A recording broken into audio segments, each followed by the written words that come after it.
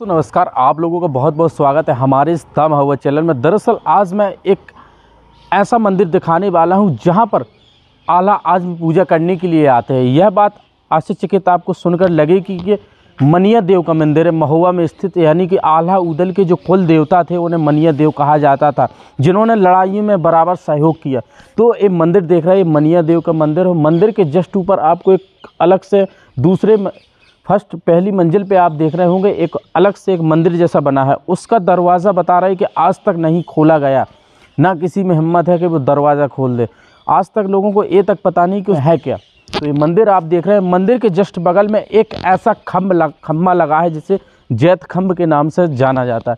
बताते हैं कि हर साल एक चावल के दाने बराबर एक खंभा बढ़ता है। यह बात आपको भी आश्चर्यचकित लगेगी कि ऐसा हो सकता है या कुछ ऐसी घटनाएँ हैं, सब भ्रम है। नहीं, ये रियलिटी बात है और सच में पहले तो मैं इस खंभे को आपको दिखा दूँ, फिर ऊपर का नज़ारा भी आपको दिखाने वाला हूँ। तो यह वो खंभा है जहाँ पर आल्हा बताते हैं कि इस खंभे पर दीपक जलाया करते थे उस समय।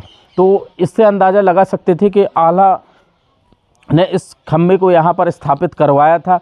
करवाने के बाद इसके ऊपर आज भी दीपक जलाया जाता है, जो उनकी परंपरा चली आई, आज भी है। तो यहाँ हमने लोगों से पता किया, इसके बारे में जानकारी ली तो बताते हैं कि एक चावल बराबर, प्रति बरस इसकी हाइट बढ़ती है। यानी कि एक बराबर ऊपर की ओर बढ़ता जाता है। लोगों ने कई बार ये देखा है कि पहले बहुत छोटा था, उसके बाद ये काफ़ी बड़ा हो गया खंभा तो खंभे की आप आकृति देख सकते हैं कि आज भी इसके ऊपर बता रहे हैं कि दीपक जलाया जाता है, जिससे पुरानी परंपरा बनी रहे।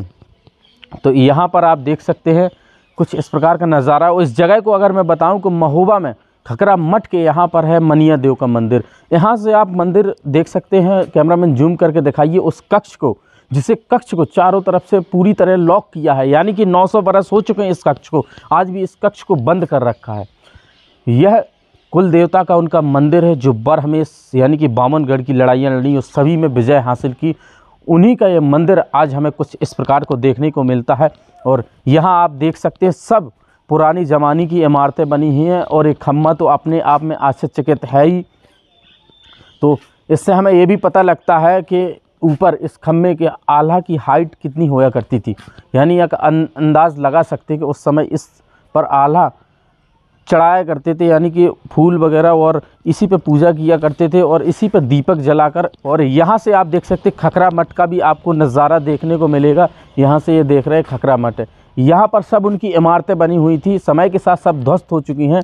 आज भी यहाँ आप नीचे देखेंगे, इसके यहाँ तो उनके कुछ पुराने जो पत्थर है, डिज़ाइन निकले हुए, चंदेली पत्थर आज भी हमें देखने को मिलते हैं। चारों तरफ़ से इमारतें ही इमारतें बनी हैं। तो यहाँ पर आइए दोस्तों,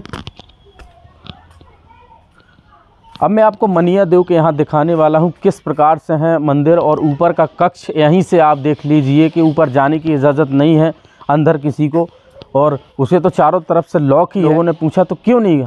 ऐसा ही बताया गया कि कुछ लोगों ने इसे खोलने की कुछ ऐसी मनगणन कुछ कहानी यानी कि कुछ योजना बनाई तो उनके साथ बहुत बड़ी अनहोनी हो चुकी थी। तो इस वजह से उसे आज तक किसी ने नहीं खोला।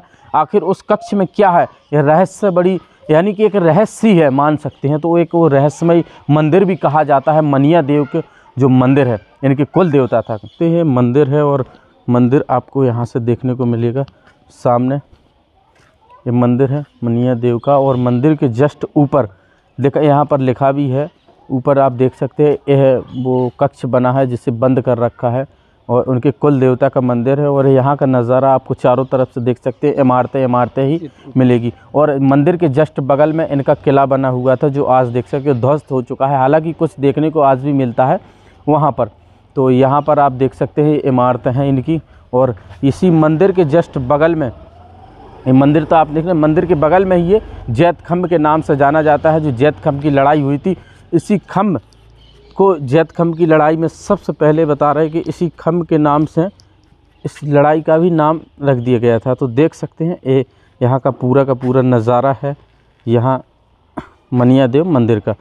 आल्हा उदल की गाथाएँ आज भी महुआ में गाई जाती हैं, देख सकते हैं आप। और उनके कुछ ऐसे रहस्यमय मंदिर और बहुत सारी इमारतें हैं, जैसे अनसुलझे रहस्य भी हैं उसमें।